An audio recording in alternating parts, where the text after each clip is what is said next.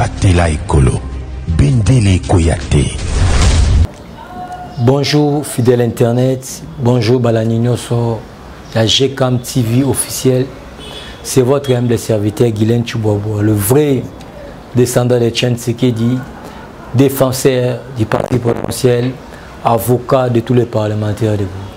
lelo oyo tokolobela mai politike ya république démocratique congo ndenge kaka tolobela yango chaque jour parce eza mosala na biso ya koloba ya kodefendre Régime ya tata mokonzi ekolo Félix Antoine Tshisekedi chef de l'État. Le premier point tokolobela sur le plan sécuritaire. Esengeli boyeba ete lelo tata mokonzi ekolo grâce ya diplomatie agissante FARDC ya mboka na biso emati ya puissance ntango toali koloba awa mapinga ya république démocratique congo après avoir kolongola embargo ya bondoki oyo prédécesseur ya tata mokonzi ekolo félix antoine tsikedi tshilombo asilaka kotika na mboka na biso fardc ya mboka na biso emote ya puissance mpo na mai matali achat ya ba char de combat achat ya ba véhicule blende lelo tokolobela yango deuxième point tokolobela conférence de prince oyo mokambi ya ministère des affaires étrangères mwana mboka christophe tundula awuti kosala epuis tokolobela eh, de, eh, a, a, petit point ya deuxième point tokolobela paul kagame adivise armée na ye ntango auti konome récemment mwana na ye au sein de l'armée rwandaise nde esali ete panike esalema nde esali ete na kati ya armée rwandaise bokabwani esalema ya certaines personnes oyo baa na kati ya armée rwandaise baza pour que adf nalu les touristes m23 bakite sol congolais ya d'autres oyo balobi te bango bakokufa na loyauté oyo mokonzi na bango alobi nde bakosala baboyi kokite sol ya république démocratique congo na mai matali guerre barbare injuste oyo bazali konyokola bandeko na biso bazwami à l'est ya république démocratique du congo petit b tokolobela cahier de charge oyo ezwamaki oyo esinyamaki na république démocratique du congo na, na nzela ya bokambami ya le président joar lorenzo azali mokambi ya république ya angola kote oyo paul kagame mpe azalaki mpo na maye matali retrace immédiate ya bato oyo tobengi baterroriste m23 oyo assemblée nationale na biso que je sali en passant oyo bazwaki mokano balobi ete biso baeli légitime du peuple tosigne ndanga obe tosigne mpo na maye matali pas de négociation avec les terroristes m23 wana ezali petit b ya deuxième point tokolobela yango Troisième point, tokolobela fonds de promotion des, en, des entreprises, des industries, pardon, et autobengine FPI, fonds de promotion des industries. Tant que tu as lu le lancement officiel, il y a un panneau solaire na Kassai oriental, précisément la ville en Bougimaï. Tant que tu as lu le panneau solaire, ezali bandi deja kosala mosala na ville ya mbujimayi La terre des ancêtres ya Kondo et Chen Tshisekedi wa Mulumba, pourquoi pas l'actuel président Félix Antoine Tshisekedi Chilombo. Tokolobela ba réalisation ya FPI na nzela ya bokambami ya mwana mboka Kabea Machiash Machiabidi, combattit mais jamais habitude. jamais abattu. Quand bien même qu'un groupe des individus, les aînés, les jaloux, oh, euh, présence ya match ya bidi à la tête en bougement était mais boye ba été grâce à diplomatie à tata mukonze ekolo grâce pe à diplomatie ya kabeya match match ya bidi oyo oh, azali le représentant valable ya tata mokonzi ekolo na mboka mbujimai azali kosala toujours mosala kitoko mpo na maye matali développement ya kasai oriental esengeli boyeba ete ministre provincial ya énergie toujours na maye matali troisième point mpo na maye etali ville ya mbujimai kasai oriental ministre ya énergie provinciale bauti kotya ye maboko mpo na maye matali arrete oyo asignaki mpo na maye matali bandeko na biso ya moto bafutaka 2000 francs chaque jour ntango asignaki arrete wana ministre ya transport provincial ya kasai oriental azalaki informe te même le numéro 1 le représentant valable ya kasai oriental azalaki informe te c'est la raison pour laquelle ntango toyali koloba awa le ministre provincial ya énergie azali na mandat d'arrêt provisoire Tango toali koloba wa azali na, mak na makala ya Mbujimai. Tokolobela yango. Quatrième point, tokolobela ministre des sports et loisirs. Na kombo ya Serge Konde. Oyo azali koboya kopesa ba prime de risque epai ya boxer oyo boyebi mingi oyo alongoli biso soni esila plan international na nkombo ya martin bakoli balobaka l'ouvrier mérite son salaire comment expliquer moto akende libanda ya mboka akende kobunda tandis que azali na prime d'encouragement te moto azali kobloke prime na ye il s'appelle bien ministre serge konde moto ya moïse katumbi kabe même ke arejoindre moïse katumbi te mais makambo azali kosala ezali koreflete image ya moïse katumbi oyo tolobaka azali na nationalité douteise ntango toali koloba barte bakole pour votre information le secrétaire général du parti présidentiel augustin kabuya mwana bute ayambaki martin bakole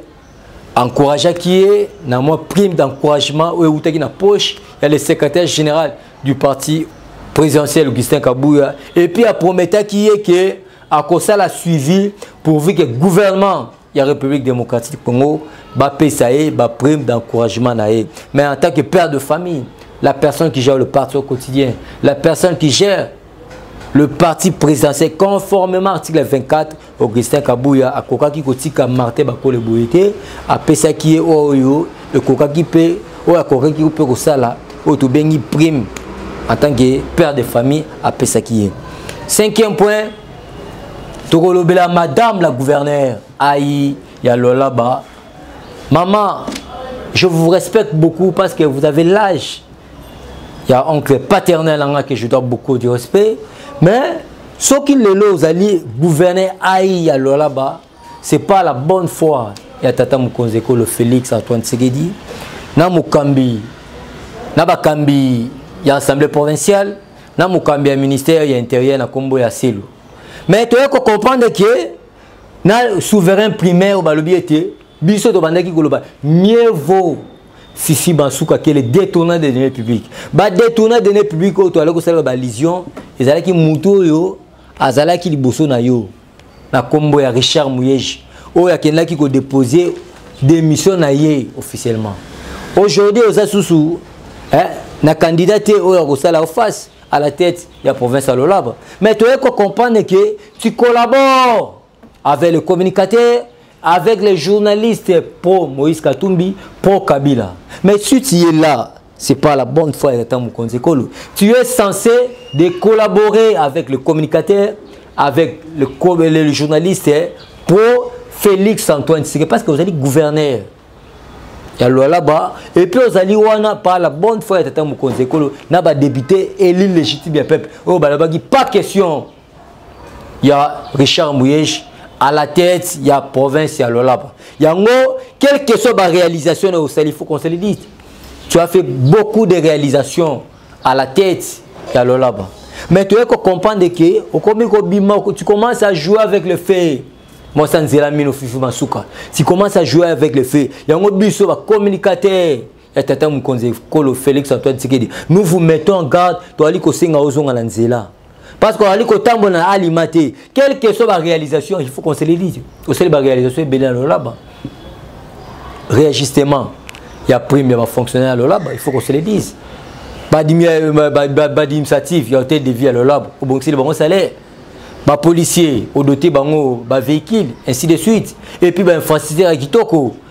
aéroport ya kitoko na banorme international na colosie mais mabe na yo parce que yo kocomprendre que tu collabore avec le pro katumbi le pro kabila c'est la raison pour laquelle nous vous mettons garde soki kaka ozokoba kaka na collaborer na bango yeba ete biso badefenseur du parti présidentiel bacommunicateur ya tata mokonzi ekolo tokobeta yo mpo te ozonga na nzela sixième point tokolobela ngobila mbaka ngobila mbaka jadcini oyo azali kojoue avec le fait oyo azwaki babourgmestre sortant bakomi na poche na ye oyo azwaki acp ekomi na kati ya babourgmestre ya 24 commune ya ville province de kinshasa yango awuti kosigne arrete alobi ete tout le bourgmestre récemment nommé ne peuvent jamais nommer au sein de leur cabinet, ni faire les, permutations au pluriel au sein de leur cabinet. Tala Bondoki, souci les Anini, parce qu'il a vite compris que le bah, gouverneur, le bah, bourgmestre sortant, bazalaki na poche na ye mais actuellement le bougumesque entra baza lisusu na poche na ye te c'est la raison pour laquelle asigne arrete ya bondoki oyo mpo na kobloke babougumesque oyo bauti na idps mpo na kobloke babougumesque oyo bauti na union sacré là j'ai vite compris que moto ozali kobundisa ozali kobundisa de faci beton ozali kobundisa ordonnance ya chef de l'état yango toali koloba boye ngobila Tu es en train de jouer avec le fait. Je, je, je lance un appel vibrant à Bougoumestre Nyoso. Un ordre mal donné, ça ne se bah, exécutera rien. C'est un ordre mal, c'est un ordre mal donné. Bato ba noma qui est pas ba bourgmestre sortant. Bazalaki na lilie le peuple d'abord te. Bazalaki bato oyo bandaki ko travailler na vision ya ngobila ya ko élargir ACP na kati ya ba commune mais toyei kocomprendre ke actuellement acp azali lisusu na ngobila azali na contrôle ya bourgmestre te yango toyali komettre en garde yeba ete ordre oyo opesi ya babourgmestre banome te bapermite te ose ya commune yeba ete bakoexécute yango te parce que c'est un ordre mal donné awa sikoyo tobandi na actualité politique le premier point oyo tolobelaki ete la montée en puissance ya fardc ya république démocratique du congo ntango toali koloba awa na baoyo bayebi te fardc ya république démocratique du congo azalaki au delà en afrique azalaki parmi le 80 quelques mais actuellement aza parmi le 20 meilleure armée en afrique ntango toali koloba awa touti koreceptionne grâce ya diplomatie agissante ya tata mokonzi ekolo félix antoine sere chef de l'état Nous venons de réceptionner 50 chars de combat oyo euti kopesama na ministre ya défense na nkombo ya Gilbert Kabanda oyo azali kosala mosala na ye kitoko ntango toali koloba awa Grâce ya diplomatie agissante, tooti ko réceptionner 50 chars de combat plus 50 véhicules blindés oyo bako permettre kobengana bato oyo tobengi baterroriste m23 na sol congolais bato oyo tobengi ba adf nalu na sol congolais wana ezali grâce ya diplomatie ya agissance ya tata mokonzi ya ekolo toti koreceptionne 4 hélicoptère ya sika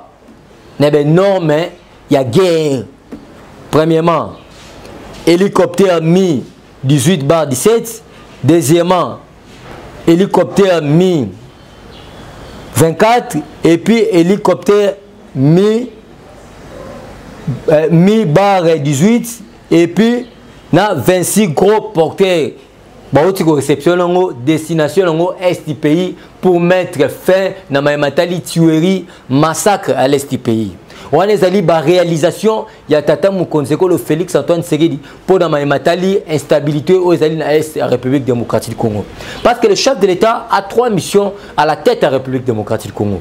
la première mission c'est la paix rien que la paix à l'est du pays c'est la raison pour laquelle le chef de l'état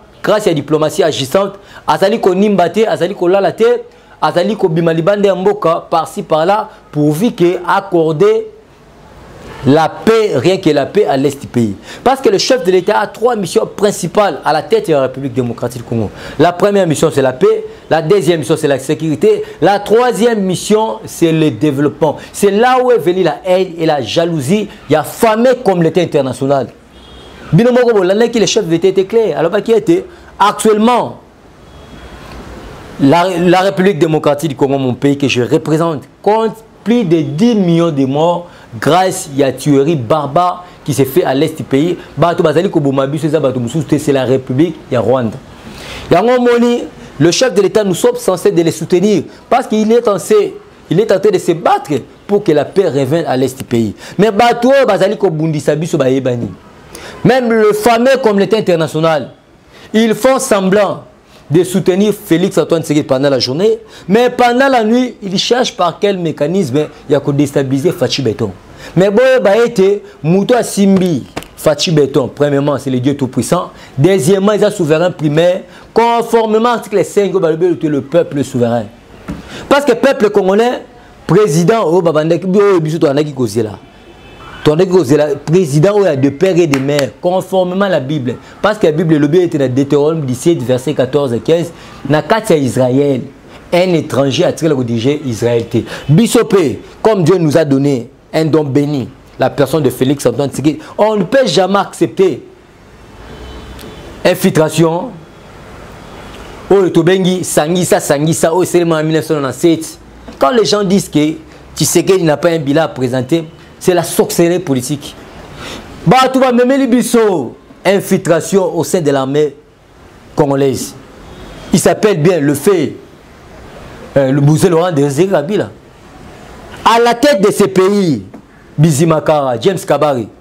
a déjà armée congolaise azalaki na nationalité nini nationalité nini rwandaise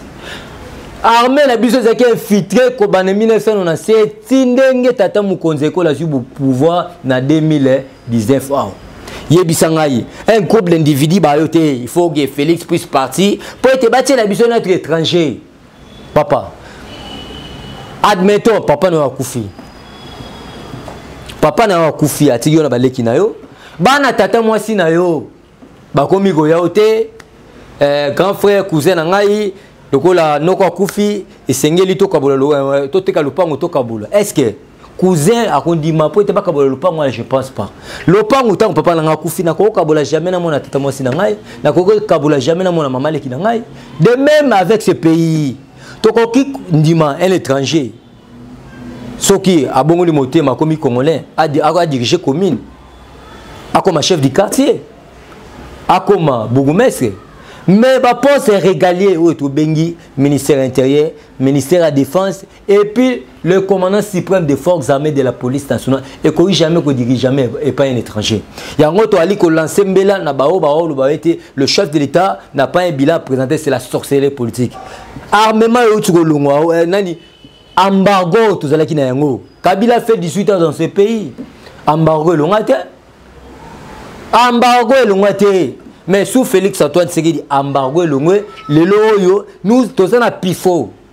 toza na nkasu ya kosomba minduki libanda ya mboka bomoni bacontre esili ya mai na turquie na russie na états-unis na mei mpo na mayematali minduki oyo république démocratique du congo asombaki mpo ete eya na république démocratique du congo epermettre biso tobunda na bayini ya peuple congolais oyo tobengi république ya rwanda mais ntango toyali koloba oyo esengeli boyeba ete kagame il y a déjà un panique na république ya rwanda armée rwandaise et puis na garde républicaine bakomi divise il y a certaines qui disent non biso toza kaka na loyauté ya le commandant suprême ya république ya rwanda na nkombo ya paul kagame il y a certaines Certains militaires babi non non on ne peut jamais accepter guerre barbare likolo ya intérêt ya mutu moko biso tokufaka du jour au jour tondimi tosala retrait immédiat conformément cahier de charge ya Luanda oyo elobaki ete bapesaki bango quelques jours pourvu que bakite sol congolais mais ntango toyali koloba wa grâce ya diplomatie ya justin ya tata mokonzi ekolo boyeba ete na mikolo ezali kola koya la paix rien que la paix ekozala à l'est ya république démocratie du congo mpo na maye matali armée régionale je tiens à vous informer ozali la bienvenue te na république démocratie du congo le chef de l'état était clair alobaki ete bino bakambi ya eac soki bozali kokolabore bien te na population congolaise boyeba ete bakotourne bako, ils vont tourner le dos mpo na bino epuis lelo oyo bandeko na biso ya lesti pays balobi boye départ ya armée régionale epuis départ ya monesco bazali komona importance na bango na sel congolais te biso souverain primaire tozali kosoutenir bango parce que bato oyo bazali na est du pays baza na même makila nde yamona biso parce qu'on voit aucune importance ya présence ya monisco na sol congolais yango omoni le fait maréchal mobutu seseko aza banga à l'époque abandaki koninga monisco te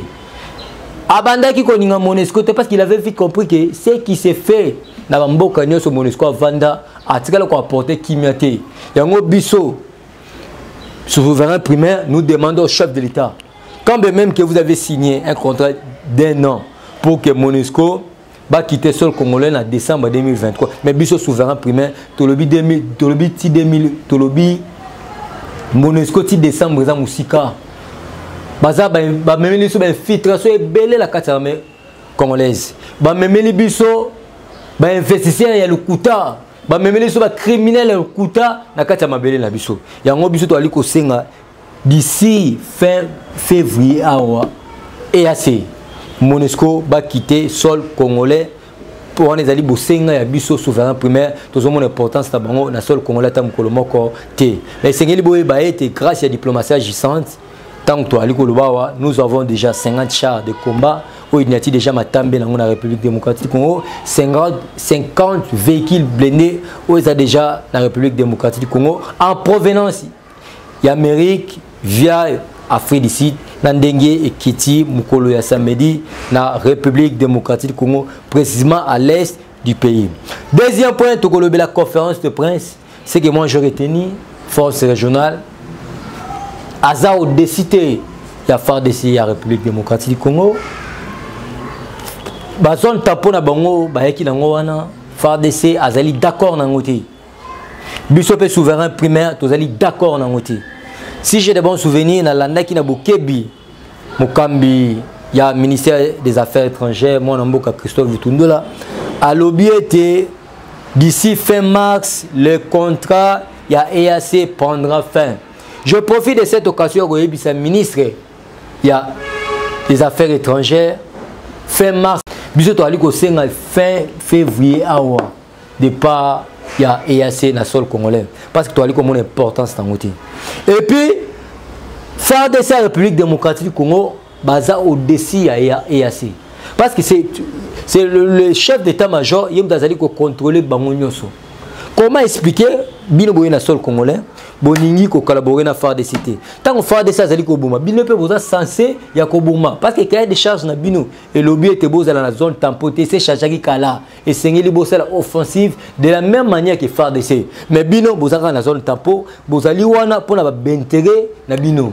yango biso souverain primaire déclaration oyo mwana mboka christophe lutundu alobi ete déclaration na ezali claire le contrat prendra fin d'ici fin ya max biso souverain primaire nous avons dit non mois de mars eza mosika d'ici fin ya février awa nous voulons le départ délai ya délai ya des forces régionales et puis nous voulons le départ ya monesco na sol congolais toningi fardc ya mboka na biso batravaille bango moko en collaboration avec la population congolaise troisième point esengeli boyeba ete la paire a changé le camp nomination ya paul kagame oyo tokonome mwana na ye au sein ya mapinga ya république ya rwanda eluki fissure au sein de l'armée rwandaise ntango toali koloba awa paul kagame azali précisément lisusu na capitale te actuellement azali na province nde esika azwami actuellement yayi de panique de panique parce que nomination ya mwana na ye elukeli ye bangambu armée rwandaise ezali divisée il y a certaines qui disent non nous voulons le départ ya ba force négative oyo tobongi ba terroriste ya M23 na ba ADF na lu na sol congolais parce que bato oyo il y a déjà un cahier de charge signé olobaki ete esengeli adf na lour terroriste m23 basigne sol congolais mais biso tozali kozwa badikta moko baloba ordre mal donné epa président de la pluie yango biso tondimi korespecte cahier de charge oyo esinyamaki na luanda na médiation ya joa lorenzo epuis tondimi kozonga na mabele na biso ya république ya rwanda mais paul kagame azali kosala kiteti kiteti wana azali kozwa ngo wapi cher compatriote babone nyonso ya gcam tv officiel c'est la le fameux communauté interna le fameux communauté internationale qui soutiennent à 100 république ya rwanda parce que soki olandi bien na bakaye de charge okocomprendre ke paul kagame asengaki mai ya kulpa oyo tobengi pardon na république ya rwanda mais aujourd'hui atourne le dos mpo na kosala bras de fer na république démocratique congo yango nayebisi bino ete mangungu azali kosala wana amata akita 2 millions 345 mètre kilomètre carré ezali superficie ya mabele ya république démocratique congo on ne peut jamais accepter même une portion ya un mètre ekende na république ya rwanda parce que nzambe ndenge atikaki biteni motu na motu aza na eteni na ye ya mabele atikela bango soki lelo économie ya république ya rwanda ezali par terre parce que babandaki kozwa minere na république démocratique du congo mais actuellement baopérateur économique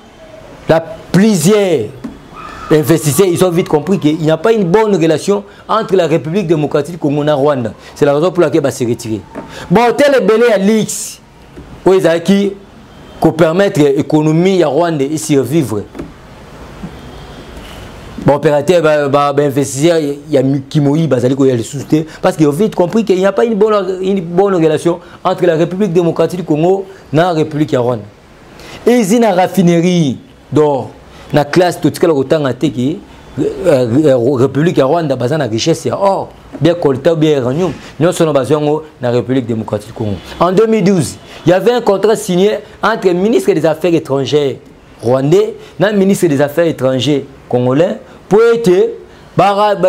baservice ya renseignement ya rwanda bakoki kokota awa babimi bazwi information bato seke ezalaki nango poubelle république démocratique ekomaki nango jungle mais actuellement nous avons un président azali à la tête ya république démocratique congo azali kobunda pour l'intérêt de tous c'est la raison pour laquelle na lance mbela armée ya république démocratique congo bazali koregrite de 18 ans à 25 ans d'âge soki mpe mwa bakokoma mpe ti 30 toye kocomprendre ke la majorité ya jeunesse ya république démocratique congo ebele bauti nde est ya république démocratique congo balobi trop c'est trop esengeli tobundela mboka na biso là je remercie la sagesse la jeunesse ya est ya république démocratique babi ils ont baseke saisi babi te tokufi mpe ebele le chef de l'état alobi ete actuellement nous comptons plus de 10 millions d'hommes et 10 millions des êtres humains perdus grâce ya massacre barbare oyo ezali à l'est du pays yango ntango toali koloba awa boyeba ete Paul Kagame, la paire a changé les camps, a commis la négociation par quels moyens Il n'y aura pas de négociation. Il n'y aura pas de négociation. On ne peut jamais négocier avec les terroristes M23. Et puis, il n'y aura pas même une portion de terre au oh, Kende, la République à Rwanda. kaka nde nzambe apesi ya biso mabele na biso superficie ezali 2 millions 345 000 km carré tokotikala kosede ata 1 mètre ekende na sol congolais te boyeba ete ntango toali koloba awa il y a une forte délégation il y a une forte déclaration il y a ancien patron ya agence nationale ya renseignement oyo azali kovanda actuellement na états-unis na nkombo ya théogène rudasingwa monsieur docteur théogène rudasingwa oyo asali déclaration mokolo ya lobi alobi boye le commandant financier ya ba adf dans lui terroriste m23 il s'appelle bien paul kagame mpo na mema etali logistique mpo na mema etali financement moto asutenaka bango ezali moto mosusu te ezali paul kagame c'est lui l'acteur principal ya bozalisi ya adf dalu terroriste m23 na sol congolais et puis azali kosenga jeunesse congolaise population tout entière tozala unis mpo na kobengana baterroriste ya m23 na sol congolais wana ezali deuxième point point b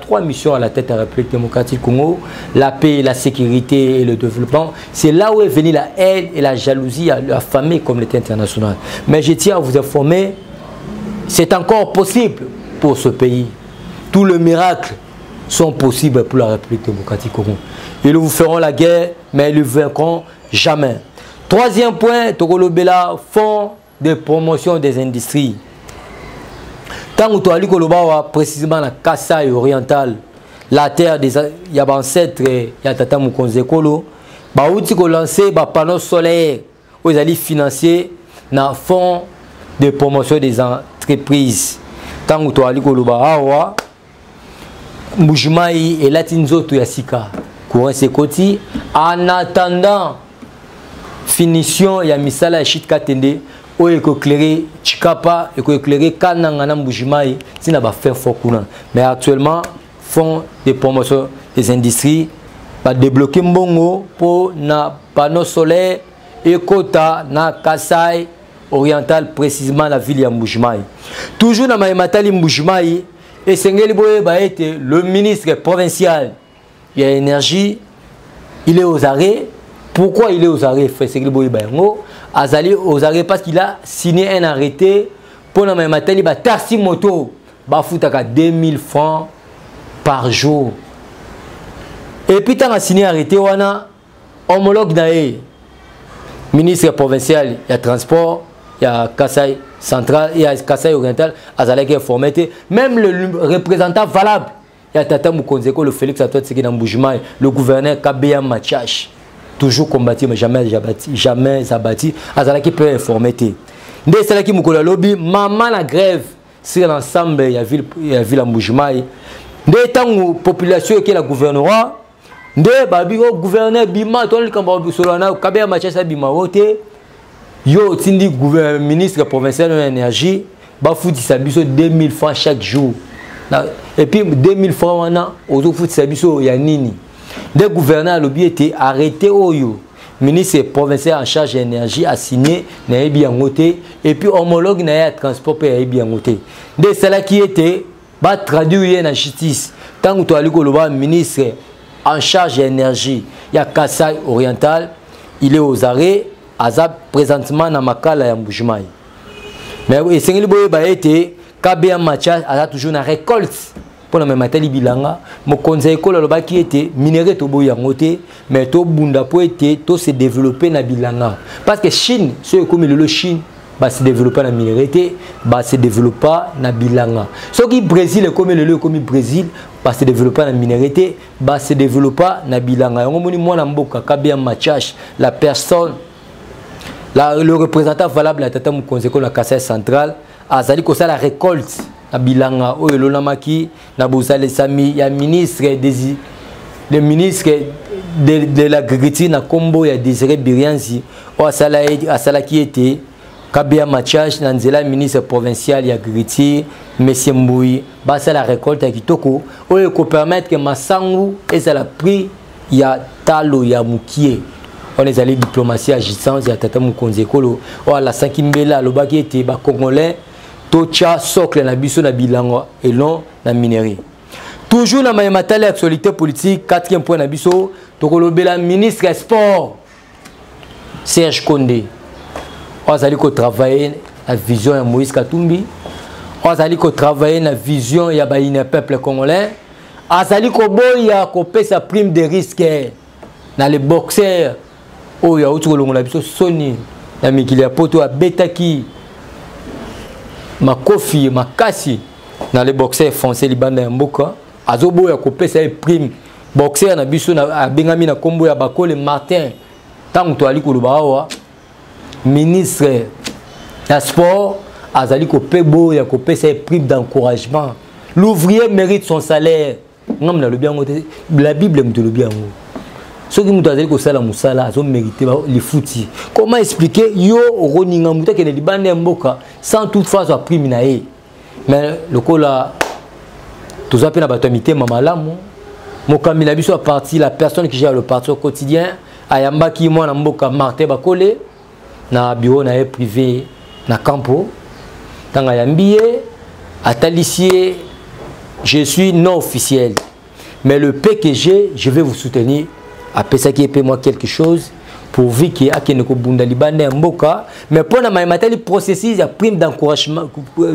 mpo na mayema atali processus ya prime d'encouragement akokende kosenga na ministre mpe na bakambi ya gouvernement pourvu ke mwana mboka na bi mwana mboka le boxeur martin bakole azwa badroit na ye oyo ezali ya ye il mérite parce qu'il a combati un beau combat alongoli biso soni sur le plan international azo mérité azala financier yango le secrétaire général augustin kabuya la personne qui gère le parti au quotidien conformément à l'article 24 de notre statut apesaki mpe mwa prime mpo ete aencourage et puis aprometaki ye akosala suivi à qui les droits à qui les droits ezali premier ministre à qui les droits ezali ministre en charge ya sport cinquième point tokolobela fifi masuka madame la gouverneur ai ya lolaba je vous donne beaucoup du respect parce que vous allez parmi les meilleurs gouverneurs oyo bazali kotravaille na vision chef de l'état vous avez fait beaucoup de réalisations il faut qu'on se le dise otongi aéroport ya kitoko na banorme internationale baadministrative ya hôtel de ville ya lolaba ils sont bien rémunérés et puis bato na bandeko na biso ya sapeur pompier bazali bien équipé police et armée ya lolaba bazali bien eodotaki bango bamituka ya kitoko et puis bainfrastructure esalemi ya kitoko na baeglise n'en parlons même pas badotation ya makasi osali et puis tu travailles na vision ya chef de l'état biso souverain primaire tolobaki boye à travers baeli légitime ya peuple ya badepute provincial ya lolaba tobaki ete mieux vaut fifi masuka ke le détournage de données publiques le détournage de données publiques tobandaki komona la personne de richard muyege oyo tokwesaki ye à travers baeli légitime ya peuple ya assemblée provinciale ya lolaba oyo balobaki ete mieux vaut fifi masuka ke richard muyege oyo alingaki asala balkanisation na kati ya province ya lolapa mais tozali kocomprendre te biso bacommunicateur ya tata mokonzi ekolo mais tu te permet de collaborer avec les communicateurs pro moïse katumbi les communicateurs pro joseph kabila bacommunicateur wana bazali kofinga tata mokonzi ekolo du jour au jour mais nous nous t'avons soutenu dans l'obscur de ba qui était Orobimisa Bamboma Yitoko. Mais on n'arrive pas à comprendre Oromi ko soutenir ba communicateurs, ba journalistes pro Katumbi, ba journalistes pro Kabila. C'est la raison pour laquelle Bissot va communicateur, va défenseur du parti présidentiel, on n'est pas d'accord avec vous. Madame la gouverneure Aïe. Tu as fait beaucoup de réalisations, on ne peut jamais être ingrat parce que tu as aidé le chef de l'État à découvrir beaucoup de choses dans la province à là-bas. Mais mabe na yo ezali ete tu collabore avec les pro Katumbi et les pro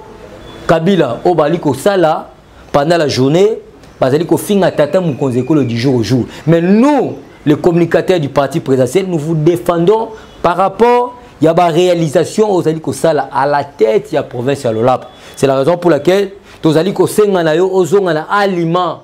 alima oyo tobengi ete le peuple d'abord travailler pour l'intérêt général soki richard muyeja azalaka wana alingaki atravaille mpo na balkanisation alingaki alukela biso bacriminel alingaki alukela biso mambo ebele na kati ya province ya loloba mais actuellement le gouvernement central actuellement le président de la république azali na contrôle ya province ya lolaba grâce ya madame la gouverneur Moi, ça nous est nous. Fifi Masuka, Seni. C'est que nous, les deux Français du parti présidentiel, le communicateur du, du parti présidentiel, nous vous demandons et que au soutenir baoyo bazali kotravaille na vision chef de l'état et non bato oyo bazali kobundisa tata mokonzi ya ekolo mpo na kosilisa esengeli boyeba ete ngobila mbaka auti kosigne arrete ya bondoki un arrete diabolique ozali kocombattre le peuple d'abord ntango tolobaka le peuple d'abord c'est placer l'homme au centre de tout mais on a fa comprendre ngobila lali alamuki azali kosigne arrete interdisant tous les bourgmestre entra banomme te bapermite te susi ya ngobila ezali nini babourgmestre sortant bazalaki na poche ya ngobila yango omonaki abandaki kosala bamiting ya makasi kotondisa boyeboyeboye mais actuellement babourgmestre entra oyo baza lisusu na poche ya ngobila te bakomi na poche ya tata mokonzi ekolo félix antoine sikiti mpo bakotisa vision le peuple d'abord c'est la raison pour laquelle asigne arrêté ya bondoki azoboya banome bapermite mpo batikaka bato na ye ya acp au sein ya commune yango toali kosenga na ngobila yeba ete balobaka na français ke un ordre mal donné baexekitaka yango te je lance un appel vibrant na ba tous les bourgmestre entra boexekite arrete ya bondoki oyo te olobi ete bonome te bopermete te au sein ya commune vous avez plein droit de nommer vous avez plein droit de permiter parce que bato oyo bino boza na droit ya kotya mpe bato na bino oyo bakoreflete image ya le peuple d'abord et non un intérêt égoïste ya une personne quelconque ngobila azali kocombattre chef de l'état parce que quand tu signe un arrêté kointerdit nomination et permutation tu es en train de combattre le chef de l'état le chef de l'état souci na ezali ete le peuple d'abord et puis bourgmestre il a droit de nommer aussi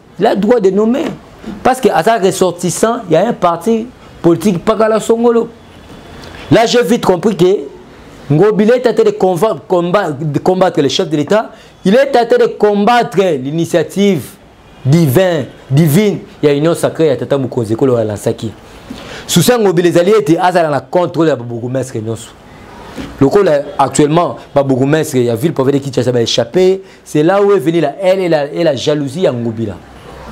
yango nali kosenga na ba gouverneur bourgmestre entrant boexécute arrêté ya bondoki oyo te oyo ezali kopekisa bino bonome bopermite te au cas où abandi kosuspendre bino boyeba ete biso souverain primaire tokobima libanda mpo na kosoutenir bino trop c'est trop on ne peut jamais accepter un groupe d'individus bazwa babourgmestre un individu azwa babourgmestre en otage susi ya ngobila ezali nini acp akozala na babourgmestre ebele badepute ebele akoma na basenateur ebele na ville province de kinshasa mais je tiens à vous informer ndoto na yo hein? ekotikala koserealise te un parti malete sans vision sans fondement Tu veux maintenant nous imposer un parti mallette à la tête ya ville province de Kinshasa na maponami ezali koya 2023 obata okita babourgmestre bakoexécute ordre ya bondoki te bakotravaille pour l'intérêt de notre peuple mpo na makosilisa boyeba ete mokolo ya lobi ezali 40e anniversaire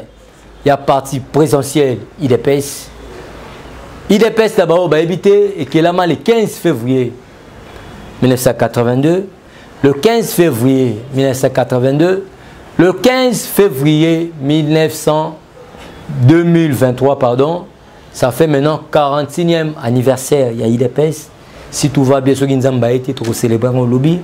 nazali kosenga bacombattantes e combattant nyonso boya ebele mokolo ya lobi na espladade ya temple ya démocratie boya kocelebre 41e anniversaire ya parti présidentiel mpo na kochite esengeli boyeba ete ministre ya jeunesse awuti kosigne arrêté moko portant loi organique ya jeunesse tout entière pourvu que jeunesse ya république démocratique congo bazala na contrôle ya fonction publique parce que la majorité ya bato bana fonction publique ce sont des jeunes ya ba troisième âge esengeli bakende retraite jeunesse akoma na contrôle ya oyo tobengi ya fonction publique jeunesse a travailler pour rejeunir fonction publique ya république démocratique du congo ah, idée wana akendaki kosoumettre yango na premier ministre epuis akendaki mpe kosoumettre yango na vice premier ministre en charge ya fonction publique vice premier ministre en charge ya fonction publique andimaki yango na mikolo ezali koya loi wana ekozala mis en rigueur pourvu que jeunesse ya république démocratique du congo bazwa place na fonction publique baregenir fonction publique wana ezali baidea malamu oyo mokambi ya jeunesse ive bukulu azali kosala pour non seulement pour le bien-être bana idps mais il est en train de travailler pour l'intérêt de notre peuple que dieu bénisse la république démocratique du congo que dieu bénisse baoyo baninga nga na baoyo baninga nga te sans oublier les combattants et combattants je n'oublierai jamais de dire un grand merci dans le secrétaire général la personne qui gère le parti au quotidien demeurer toujours kotravailler mpo na intérêt ya bacombattant napesi mbote na ngai na mama na ngai marie josé mbombo na swede bambote ebele ndeko na ngai ive bobul na londres bambote ebele bamama na ngai nyonso bazali na canada oyo basutenaka ngai na baoyo basutenaka ngai te bambote ebele na baoyo baninga ngai na baoyo baninga ngai te bambote ebele soki bowana besoin, besoin ya kocontacte le vrai descendant de Chen Sekedi, défenseur du parti présidentiel, avocat de tous les parlementaires debout, Bobenga la plus 243, 81